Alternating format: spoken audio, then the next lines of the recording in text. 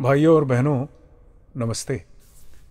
आप सभी का मैं स्वागत करता हूँ स्वयं से साक्षात्कार की इस कड़ी में, जिसका शीर्षक है गौन व मुख्य प्राण। हम पिछली दो कड़ियों में ये डिस्कशन कर चुके हैं। एक बेसिक डिस्कशन कर चुके हैं कि गौन प्राण क्या है, मुख्य प्राण क्या है। जैसी डिस्कशन हमने विद्या अविद्या के चैप्टर में की थी, वो डिस्कशन हम कर चुके हैं। और प्रज्ञान पुरुष की वाणी अनुसार हम लोग आगे बढ़ रहे हैं, कुछ वाणी हम सुन रहे हैं और कुछ उनकी वाणी जो किताब के आकार में पब्लिश्ड है सच्चिदानंद सोसाइटी द्वारा, उसको फॉलो करके उसमें से ज्ञान ले रहे हैं, आहरण कर रहे हैं अपने जीवन में व्यवहार करने के लिए। आइए सुनते हैं प्रज्ञान पुरुष श्री श्री बाबा ठाकुर को। सूक्ष्म जो कुछ है, विद्या का अधीन सूक्ष्म को लेने के लिए हमारी अंदर का सहायता चाहिए। अंदर का सहायता क्या होता है? प्राण क्रिया क्या है? वायु का गोति हाथ ये हिलता है, हाथ ऐसे करता है, इसको वायु का गोति। लेकिन ये प्राण है, गौण प्राण, उसको पीछे में है, पश्चात में है मुख्य प्राण मुख्य प्राण का साथ चैतन्य का बराबर संबंध है। वो पहले मालूम नहीं होता है। धीरे धीरे उसको अनुभूति मिलते है। मैं एक बार दोहरा देता हूँ, प्रज्ञान पुरुष क्या बोले? सूक्ष्म को लेने के लिए हमें अंदर की सहायता चाहिए। कोई भी फाइन चीज़ लेने के लिए जो ग्रॉस सिस्टम है, वो उसे ले नहीं पाता है। फाइन चीज़ को लेने के लिए something finer which is our internal system की जो फाइननेस है, उसकी ज़रूरत होती है। उसी बात को कह रहे हैं कि सूक्ष्म को लेने के लिए हमें कुछ अंदरूनी सहायता चाहिए। उसको फिर कहाँ ले आ रहे हैं देखिए। अंदर की सहायता क्या है? प्राण क्रिया क्या है? न, वायु की गति है। अर्थात जो प्राण क्रिया हमारे अंदर चलती है, वो केवल वायु की गति है। ये एयर का जो मूवमेंट है, उस मूवमेंट से हमारे जो ये हार्ट चलता है, इस, ये एक वायु की गति है, जैसे एक पंप चलता है ना जी। सिंपल तौर पे अंडरस्टैंडिंग के लिए बहुत इंट्रिकेट सिस्टम है ह्यूमन बॉडी का बिकॉज़ ये इंटरलिंक्ड है वेरियस तरीके से। लेकिन बेसिकली एक वायु की गति है, जिसकी वजह से ये जो प्राण है, ये जो खून है, इसका संचार हो रहा है, वापस आ रहा है, संचार हो रहा है, ये सारी चीज़ें हो रही हैं। तो ये प्राणक क्रिया है वायु की गति, हाथ हिलता है, इसे कहते हैं वायु की गति। लेकिन यह प्राण है गौण प्राण। ये आ गई हमारी इंपॉर्टेंट बात। ये जो प्राण क्रिया चल रही है, वायु की गति के रूप में, ये गौण प्राण है। इसके पीछे है, पश्चात में है मुख्य प्राण। मुख्य प्राण के साथ चैतन्य का बराबर संबंध है, ये एक और इंपॉर्टेंट पॉइंट है। यह पहले मालूम नहीं होता धीरे धीरे इसकी अनुभूति मिलती है।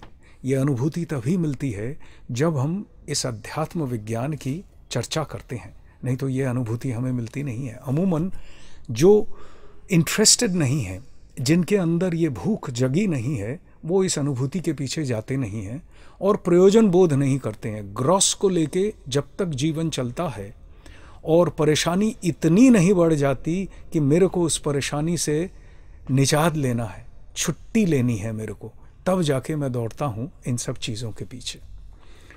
तो हम जहाँ पे थे, गौण प्राण, मुख्य प्राण तत्व लोक में एक बंगाली की किताब में प्रज्ञान पुरुष का एक प्रवचन है, जिस प्रवचन के आधार पर हम लोग आगे बढ़ रहे थे। तो उस प्रवचन में कुछ बातें हम कर चुके हैं। मैं लिंकेज के लिए कुछ रिपीट कर रहा हूँ, जो कि है, जिसमें सत्य रूप से अनंत आनंद की अनुभूति होती है, उन्हें दिव्य मानव कहा जाता है। अब ये हम लोगों ने किताब पढ़ के ज्ञान लिया है। कुछ लोगों ने संपर्क रखा है, अर्थात संपर्क में आए हैं किसी महामानव के। जो लोग महामानव के संपर्क में आए हैं, वो ही केवल इस बात को ट्रूली अप्रिशिएट कर पाएँगे क्योंकि उन्होंने प्रत्यक्ष किया है। बाकी लोगों ने किताब में पढ़ा है और अपने भक्ति भाव से उसको माना है। तो ये जिसमें सत्य रूप से अनंत आनंद की अनुभूति होती है, अनंत आनंद का अर्थ है नेवर एंडिंग आनंद। तो मनुष्य किस चीज़ से वाकिफ है? कि अभी आनंद है, अभी निरानंद है। अभी सुख है, अभी दुख है। हाँ अभी शांति है, अभी अशांति है। इस चीज़ से तो मनुष्य वाकिफ है। लेकिन अनंत आनंद की अवस्था जहाँ पे निरानंद का नामो निशान नहीं है, इससे वाकिफ नहीं है। इसीलिए कभी कभी महामानव के करीब जाकर भी समझ में कुछ नहीं आता है। ये अनंत आनंद के अधिकारी हैं, ये हम जान नहीं पाते हैं। क्यों नहीं जान पाते हैं? क्योंकि हमने कभी भी इस विद्या की चर्चा नहीं की है। न किसी से सुना है, न किताबों में पढ़ा है, न किसी और तरीके से अध्ययन किया है मैंने। जिस चीज़ का मैंने अध्ययन किया है जीवन जीने के लिए, वो विद्या मुझे कुछ न कुछ आती है। भले ही पूरी रूप से ना आती हो, लेकिन आती ज़रूर है। लेकिन इस विद्या का अध्ययन नहीं किया है। महामानव होते हैं अनंत आनंद के अधिकारी। उनके पास कोई द्वैत भाव नहीं होता है। कर्ता, कर्म। ये जो ये जो द्वैत भाव है, मैं और मेरा राइट एंड रॉन्ग दिन और रात। दिन और रात प्रतीत ज़रूर होते हैं, लेकिन इम्पैक्ट अंदर कुछ नहीं होता है। जो हमने पहले ज़िक्र किया है, उनके अंदर होता क्या है? साइलेंस इन एक्शन बाहरी जगत में होता है action in action continuous movement है एक्शन हो रहा है। जब मनुष्य अपने अंतर प्रकृति में, अंतकरण में जाता है, मन, बुद्धि, चित्त, अहंकार, ये चार हैं मेरे अंतकरण के जो अंतर इंद्रिय, यानी ये सिस्टम ऐसे ऑपरेट करता है मन, बुद्धि, चित्त, अहंकार के रूप में अंदर से मनुष्य का। तो जब ये अंदर जाता है, तब ये अंदर और बाहर so it becomes action in action यहाँ पे एक्शन इन साइलेंस क्योंकि एक चीज़ मुझे साइलेंट लगती है, दूसरी चीज़ एक्शन में है। और उसके बाद जब केंद्रीय जगत में चला जाता है तो वो साइलेंस परसोनिफाइड है, ईश्वर। तो वो ईश्वरीय जगत में जब चला गया it become silence in action action दिख रहा है, लेकिन अंदरूनी साइलेंस है। किसी किस्म का कोई विकार, कोई चेंज कुछ नहीं हो रहा है। मनुष्य का ऐसा नहीं होता है। इसीलिए जीव बद्ध है और ईश्वर जो है, वो मुक्त हैं फ्री हैं। इसलिए वो असीम है, जीव ससीम है। ये जितनी भी लिमिटेशंस आ जाती हैं, वो इसी की वजह से आ जाती हैं और ईश्वर में वो लिमिटेशन नहीं है। ईश्वर के पीछे जो ट्रांसेंडेंटल स्टेट है, जो ब्रह्म, आत्मा, परमात्मा, परमेश्वर का स्टेट है, पक्का मैं का स्टेट है, वो साइलेंस इन साइलेंस है। वहाँ साइलेंस टूटता ही नहीं है कभी, क्योंकि जगत ही नहीं है वहाँ। वो एक perfect state of non duality है, जिसको नित्याद्वैत कहा है प्रज्ञान पुरुष। श्री श्री बाबा ठाकुर ने। इस perfect state of non duality जब कभी बॉडी लेकर परसोनिफाइड होते हैं तो वो बहुत एक निराला परसोनिफिकेशन होता है। बहुत ही विरल ऐसी बातें होती हैं, लेकिन होती हैं। हमने तो संग किया है, देखा है। तो जैसा देखा है, पूर्ण रूप से समझ में नहीं आता, लेकिन समझदानी हमारी बुद्धि से होती है। लेकिन जो असली समझदानी है, वो बुद्धि जब बोधि में मिलकर एक हो जाती है, अर्थात बुद्धि शुद्ध बुद्धि होती है पहले, ईश्वरीय बुद्धि होती है, उसके बाद वो बुद्धि कंप्लीटली एंड टोटली बोधि बन जाती है कॉन्शियसनेस तो प्योर कॉन्शियसनेस के स्टेट से जो चीज़ उद्गत होके बाहर आती है, वो स्वतः स्फूर्त है स्पॉन्टेनियस है. उसके अंदर कोई नॉलेज बेस नहीं है. ज्ञानी व्यक्तियों का जो नॉलेज बेस होता है, जहाँ से वो हर बात को बोलते हैं, जिसका नॉलेज बेस बड़ा होता है, उसको हम बोलते हैं बड़ा ज्ञानी है, जिसका छोटा है उसको हम इग्नोर करते हैं, मानते नहीं हैं। ये लोग जो होते हैं, इनका कोई नॉलेज बेस नहीं होता। है दे आर नॉलेज परसोनिफाइड जब भी कहीं भी कोई चीज़ उनके अंदर से निकलती है, एक तो परफेक्ट निकलती है, उसके अंदर किसी किस्म की कोई गलती नहीं हो सकती है। भले वो सामने वाले लोग न समझें, क्योंकि वो they are understanding through their limited intellect something which is coming from the state of unlimitedness so so, limitation वो भले ही डाल दे लेकिन इनके यहाँ से कोई लिमिटेशन नहीं होता है। तो इस अनंत आनंद इसीलिए अनंत आनंद की बात की जाती है। ये अनंत आनंद के साथ दो चीज़ें और हैं इनके अंदर। सत चित आनंद वर्ड जो है सच्चिदानंद हम अक्सर इस्तेमाल करते हैं। इसके रियल अर्थ में अगर जाएँ तीन भाग में विभक्त करें सत चित और आनंद। सत है इटर्निटी जो था, है और रहेगा an existence which is eternal चित क्या है? Knowledge pure knowledge pure consciousness right absolute knowledge absolute consciousness और सत और चित्त जहाँ पूर्ण है, वहाँ आनंद भी पूर्ण है। वहाँ अनंत आनंद है। तो जिसमें सत्य रूप से अनंत आनंद की अनुभूति होती है, उन्हें दिव्य मानव कहा जाता है। प्राण व चैतन्य के प्रकाश के साथ जब एकात्मता हो जाती है, तब होता है दर्शन। ये जो मैंने ज़िक्र किया अभी सत्य ये सच्चित आनंद का जो फ़र्स्ट पार्ट है, वो प्राण व चैतन्य के साथ जब एकात्मता हो जाती है, अर्थात मुख्य प्राण के साथ जब एकीभूत हो जाते हैं, ये मुख्य प्राण और चैतन्य में कोई फ़र्क नहीं है। यानी सत और चित, अर्थात एब्सोल्यूट कॉन्शियसनेस प्योर कॉन्शियसनेस और एब्सोल्यूट एग्जिस्टेंस ये दोनों जब एक हो जाते हैं तो ये जाके महामानव की कैटेगरी में पहुँचते हैं तो अनंत आनंद के अधिकारी भी हो जाते हैं, ये ऑटोमेटिक है। सो ये सचित आनंद समझने के लिए विभक्त किया जाता है, लेकिन ये विभक्त होते नहीं हैं, ये एक ही है three in one one in three ये संज्ञा दी है प्रज्ञान पुरुष, श्री श्री बाबा ठाकुर ने। आगे कहते हैं, इसी को कहते हैं, प्राण में प्राणमय होना। अर्थात प्राण के बाहर नहीं, मुख्य प्राण के अंदर ही परिपूर्ण रूप से रहना, कहते हैं बोध में बोधमय होना, अर्थात कॉन्शियसनेस में कॉन्शियसनेस से परिपूर्ण होना। जैसे सिंपल आसानी समझने के लिए वो एक बर्तन में रसगुल्ले का रस है, अंदर रसगुल्ला रखा है तो वो रसगुल्ले के रस पे जहाँ से भी आप इस रसगुल्ले के रस को छुएँगे टच करेंगे जीभ से, आपको वही एक ही स्वीटनेस आएगी। किसी भी एंगल से, कहीं से भी टच कर लीजिए। वो रस से स्वीटनेस से परिपूर्ण है। तो प्राण में प्राणमय, वो प्राण से परिपूर्ण है, आनंद से परिपूर्ण है। तो वो आनंदमय अवस्था उनकी हर अवस्था में है। कोई डिफरेंट डिफरेंट अवस्था वाली बात उनके अंदर होती नहीं है। रूप है प्राण की निद्रित अवस्था। ये हम जस्ट टच किए थे पिछले एपिसोड में। रूप है प्राण की निद्रित अवस्था, नाम है स्पंदित या स्वप्नावस्था, भाव है जागरण या विज्ञान, एवं बोध है महाजागरण या प्रज्ञान।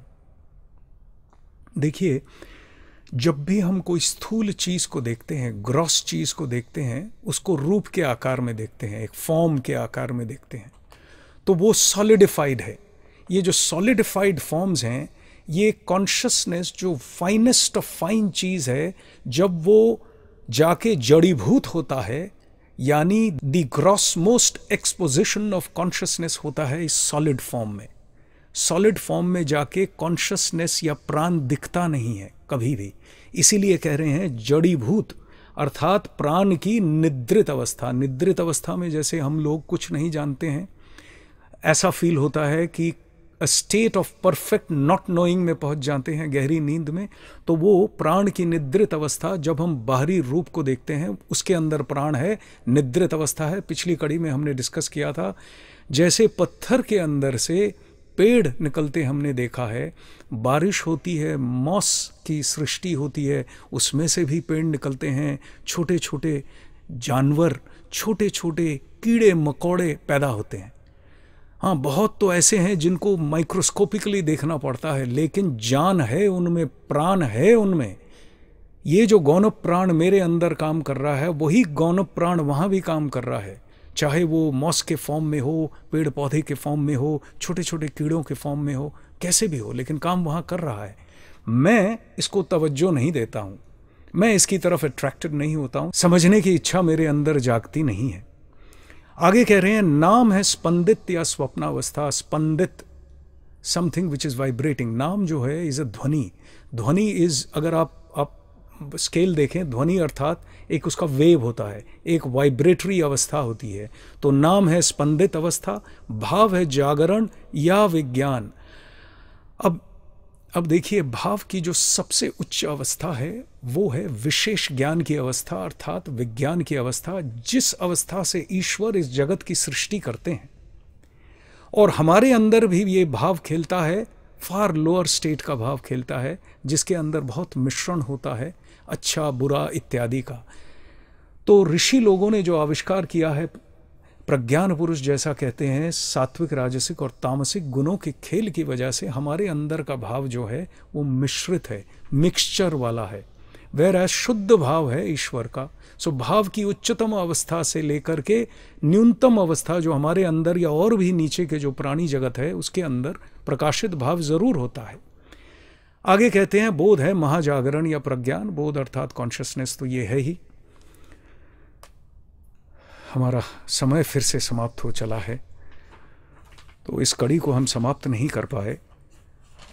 अगले एपिसोड में हम जारी रखेंगे गौन व मुख्य प्राण इस कड़ी को। आइए सुनते हैं प्रज्ञान पुरुष श्री श्री बाबा ठाकुर का उद्गत भजन।